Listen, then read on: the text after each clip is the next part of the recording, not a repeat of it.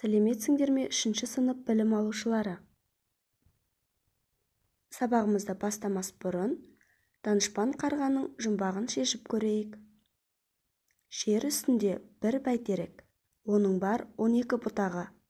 Әр қайсысында отыз жапырақ отызының бір жағы ақ бір жағы қара. Бұл не деп ойлайсыңдар? Дұрыс айтасыңдар.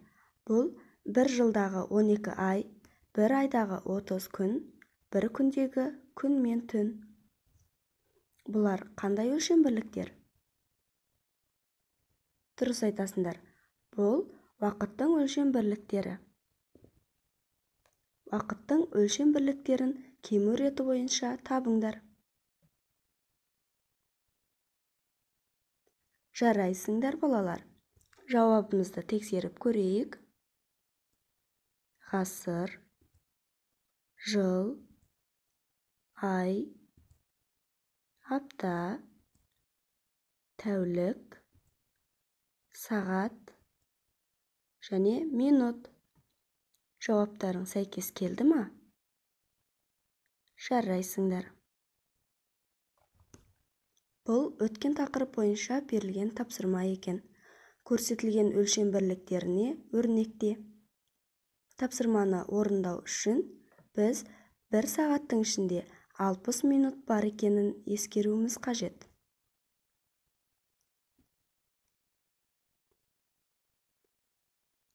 Тапсырманы барлықтарың орындап болды деп ойлаймын. Олай болса жауабын тексеріп көрейік.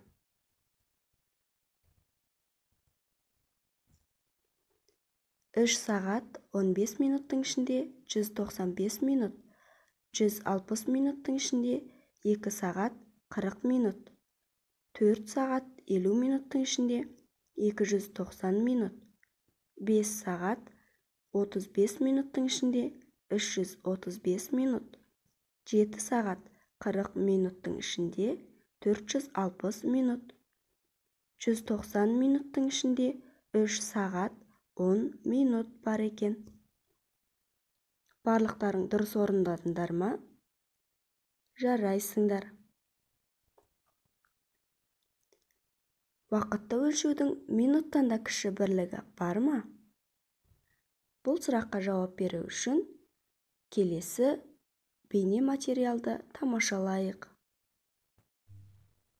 Сенің алдыңда циферблат берілген. Сен циферблатта екі тіл болатынын білесің.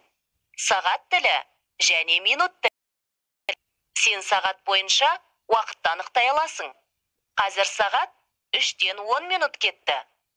Назар аудар циферблат бар. Бірден екіге дейін санап көрейік және оны бақылайық. Бір екі. Тіл не істеді? Дұрыс ол қозғалды. Тіл бір секунд уақыт кетті. Сондықтан осы тіл секундтық тіл деп аталады. Секунд жазбаша с әрпінеді секунд минуттың алпыстан бір бөлігіне тең уақыттың өлшем бірлігі. Бұл дегеніміз бір минутта алпыс секунд бар. Кейбір сағаттарда минуттық тіл мен сағаттық тіл секундты есептейтін секундтық тіл болады. Секундтық тіл циферблатты толық бір рет айналғанда бір минут өтеді. Бір секунд ішінде бір екі қадам жасауға болады. Жер ғаламшары бір секундта орбита бойымен 29786 метр айналады. Өлшейтін құрал секунд өлшеуіш деп аталады. Өлшеуіштің қайда қолданылатынын есіңе түсір. Дұрыс секунд өлшеуіш бірінші кезекте спортта уақыт интервалын дәл жиілігін және мектепте оқу жылдарын өлшеу үшін қолданылады. Сонымен балалар уақытты өлшеудің минуттан да кіші бірлігі бар ма екен? Дұрыс айтасыңдар бар екен. Ол секунд. Бүгінгі біздің өтетін тақырыбымыз секунд. Бүгінгі сабақта сен уақыттың өлшем бірліктерімен арифметикалық амалдарды орындауды уақыттың өлшем бірліктерін түрлендіруді уақыттың өлшем бірлігіне байланысты есептер шығаруды үйренесің. Бүгінгі сабақ бойынша сен мынадай нәрселерді есіңе сақтауың керек. Бір минутта секунд тілі сағаттың циферблатын толық айналады. Бір минуттың ішінде 60 секунд бар екенін есіңде сақта. Сен жаймен бір дегенде бір секунд өтеді. Енді сен уақытты секундқа дейін дәл анықтай аласың.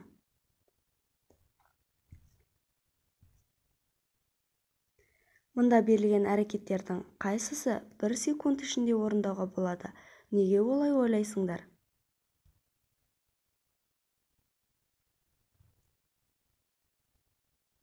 Көз қысу. Дұрыс айтасыңдар.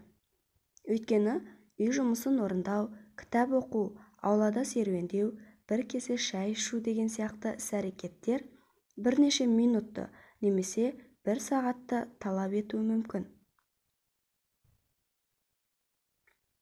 Бүгінгі тақырып бойынша мына тапсырманы орындап көрейік. Көрсетілген өлшем бірліктеріне өрнекте. Тапсырманы орындау үшін біз бір минуттың ішінде 60 секунд бар екенін есімізден шығармайық.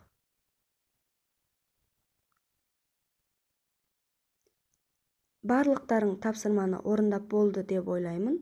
Олай болса жауабымызды тексеріп көрейік. Екі минут 15 секундтың ішінде 75 секунд 68 секундтың ішінде 1 минут 8 секунд. 3 минут 30 секундтың ішінде 210 секунд. 140 секундтың ішінде 2 минут 20 секунд. 5 минут 42 секундтың ішінде 342 секунд. 162 секундтың ішінде 2 минут 42 секунд болады екен. Олай болса келесі тапсырманы орындайық. Айдос мектепке бару үшін 8 минут метромен және тағы 5 минут жаяу жүреді. Айдос мектепке дейін барлығы қанша уақыт жүреді? Жауабын минут және секундпен өрнекте. Балалар есеп не туралы? Дұрыс айтасыңдар. Айдос мектепке бару үшін жұмсайтын уақыты туралы екен. Есепте не белгілі? Дұрыс айтасыңдар. Айдос мектепке бару үшін 8 минут метромен және 5 минут жаяу жүретіндігі белгілі. Есептің сұрағы қандай? Дұрыс айтасыңдар. Айдос мектепке дейін барлығы қанша уақыт жүреді? Ал оның жауабын қалай шығарамыз? Иә біз айдостың метромен жүрген 8 минуты және жаяу жүрген 5 минутын қосамыз. Сонда 13 минут шығады. Ал енді осы минутты секундқа айналдыру үшін біз бір минуттың ішінде 60 секунд бар екенін есімізден шығармайық.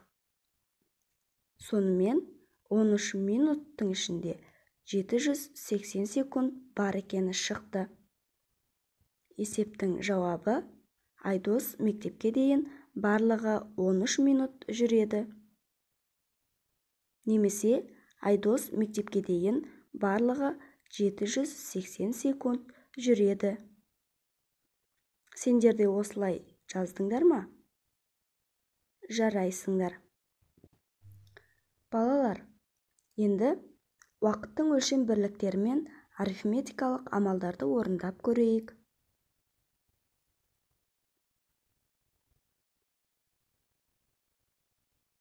Барлықтарың орындап болды деп ойлаймын.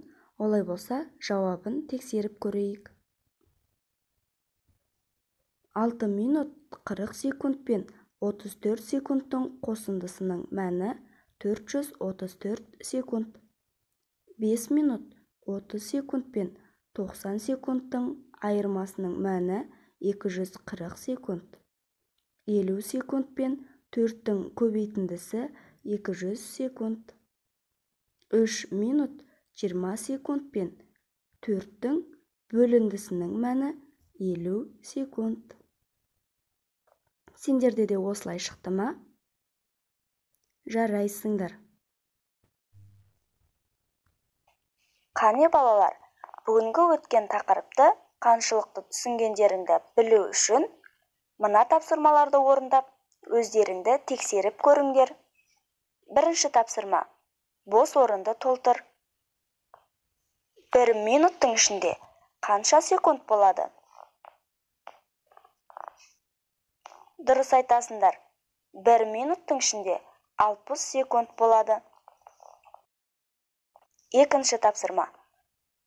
Бос орынды толтыр. Минуттың алпыстан бір бөлігіне тең уақыттың өлшем бірлігі.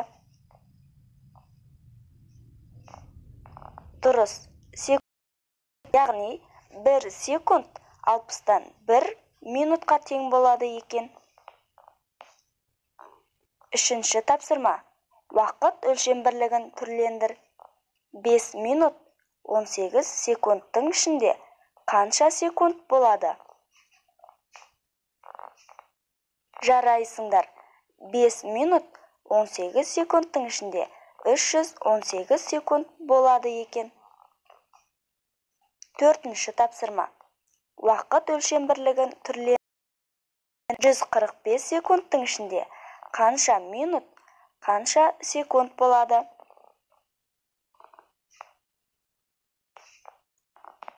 Жарайсыңдар балалар. 145 секундтың ішінде 2 минут 25 секунд болады екен. Бесінші тапсырма.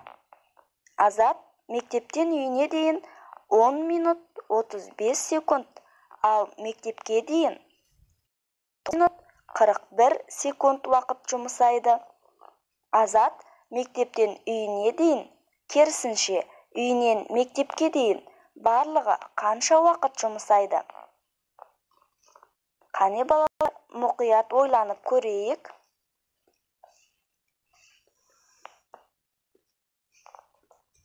Жарайсыңдар. Азат мектептен үйіне дейін керісінше үйінен мектепке дейін барлығы 20 минут 16 секунд уақыт жұмсайды екен. Жарайсыңдар балалар. Осымен барлық тапсырманы өте жақсы деңгейде орындап шықтыңдар. Назарларыңа рахмет. Бүгінгі сабақ осымен аяқталды. Сау болыңдар.